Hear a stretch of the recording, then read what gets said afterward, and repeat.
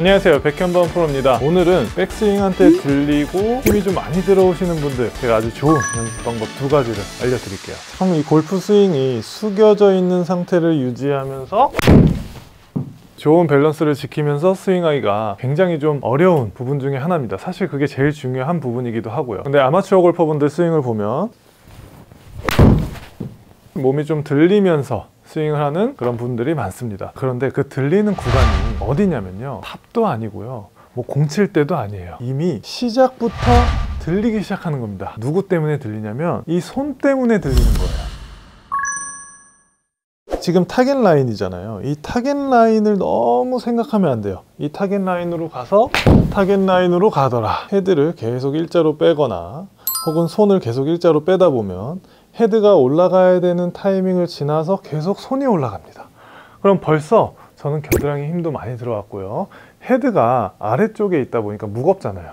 이거를 이제 내가 느끼기보다는 무거운 걸 잡는 힘이 생겨서 이때, 이때 이렇게 들리면서 치는 거예요. 그러면 이제 생각하기에는 아, 내가 여기서 들렸으니까 끝까지 끝에서 내리자 하면 또 어떻게 돼요? 스웨이 되고 피봇 되면서 치는 거죠. 그래서 여러분들이 이제 첫 번째로 해주셔야 되는 거는 오른손 두 마디를 좀 짧게 걸어 잡아 주세요. 이 상태에서 그냥 이렇게 헤드를 위로 올려줬다 내려줬다 하는 연습만 한번 해보세요. 그럴 때 너무 꽉 잡고 하면은 또 힘들어 오니까 그냥 편하게 왼손은 걸어 잡고 오른손 두 마디로 헤드를 올려주는 거예요. 자 이게 좀 이해가 안 되시는 분들은 이렇게 오른 팔꿈치가 접어졌다가 내려온다 라고 생각해 주셔도 동일합니다. 자 이렇게 하면 헤드 무게가 올라갔다가 헤드 무게가 떨어진다. 망치질 하는 거랑 똑같은 거예요. 그러면서 여러분들이 하는 백스윙을 천천히 몸을 좀 쓰면서 자연스럽게 헤드를 올려보는 거죠. 팔꿈치를 사용해도 되고 손마디를 사용해도 되고 이렇게 하면서 부채 펴듯이도 한번 올려보세요 자 지금 제 팔을 보면 왼팔을 피고 있나요? 우리가 핀다는 개념으로 가면 이렇게 힘이 들어오니까 편하게 있으셔도 돼요. 근데 여기서 만약에 이 모양이 싫다 그런 분들은 손을 몸에서 멀리 주잖아요? 그러면 등부터 손날까지 왼손 날까지 이렇게 늘어납니다. 그러니까 힘으로 펴는 게 아니죠. 그래서 이렇게 올려보는 거예요. 이 느낌을 주고 공을 쳐보면 이 어려웠던 그 백스윙이 굉장히 쉬운 백스윙으로 또 바뀌는 거예요. 두 번째는 헤드를 올리고 팔을 또 잘 써서 공을 잘 맞추니까 몸을 또 잘 써야 돼요. 어쨌든 몸이 들리는 거니까 숙여져 있는 몸을 잘 유지하면서 쓰려면 어, 약간의 훈련이 필요해요. 런지 동작을 가볍게만 해주세요. 오른쪽 허벅지에 내 체중을 살짝 실어주는 거예요. 백스윙을 한번 해보세요. 백스윙을 하는데 약간의 어깨 회전이 들어가면서 움직여 보면 지금 오른쪽이 이렇게 막아져 있기 때문에 우리 몸이 많이 가고 싶어도 못 갈 겁니다. 그런데 이것도 이겨내면서 가시는 분들이 있을 거예요. 아마도 실제 스윙할 때 약간의 오버스윙을 하고 있을 겁니다. 이 아래를 보는 거를 유지하면서 내가 할 수 있는 내 상체가 움직일 수 있는 만큼만 움직인다.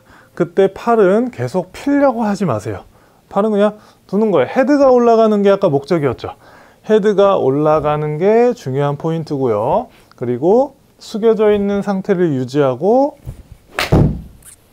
공을 치는 게 두 번째 큰 목적이 돼야 됩니다 자 헤드를 올리는 작업으로 겨드랑이를 편하게 만들어 주다가 어때요? 지금 움직임이 거의 없죠?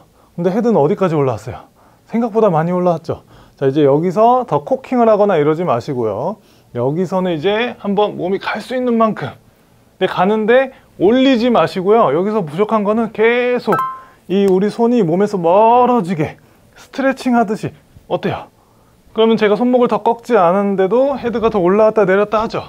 이렇게 느낌을 주고 또 스윙을 한번 해보고. 이렇게 해서 지금처럼 공을 치는 건 의미가 없습니다. 여러분들께 보여드리기 위해서 하는 거고요. 그래서 내 상체 특히 왼쪽 겨드랑이가 이렇게 손이 많이 올라갈수록 겨드랑이 힘이 많이 들어오거든요 여기서 뭐 아무리 머리 고정해라 뭐 들리지 마라 해도 자꾸 가다 보면 들리게 돼 있어요 이제 그게 아니고 헤드가 올라오면 손이 낮고 겨드랑이 힘이 안 들어와서 공을 치기가 쉬워지더라 먼저 느끼신 다음에 우리 아까 그 런지 했을 때의 느낌을 살짝 막아주고 쭉 스트레칭.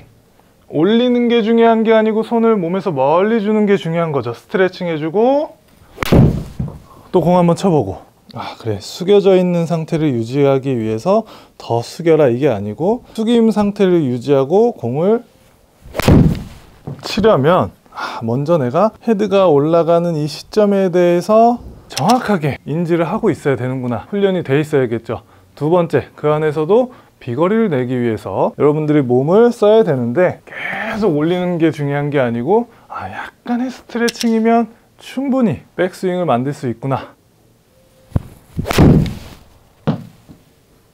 공을 쳐보세요. 그러면 백스윙이 정말로 쉬워질 거예요. 그리고 제가 여러분들 요거 하나는 꼭 말씀드릴게요. 아무리 10명을 데려다 놓고 같은 레슨을 시켜도 느끼는 감각적인 부분은 다 다릅니다. 저 같은 경우는 뭐 오른쪽이 느껴지지만 어떤 분들은 등이 느껴질 수도 있고 어떤 분들은 왼쪽이 느껴질 수도 있는 거예요. 그러니까 여러분들만의 감을 찾아서 결과적으로 공을 잘 칠 수 있는 그런 스윙을 만드셔야 된다는 거 잊지 마십시오. 보너스 영상으로 집에서도 할 수 있는 거 한 가지 알려줄게요.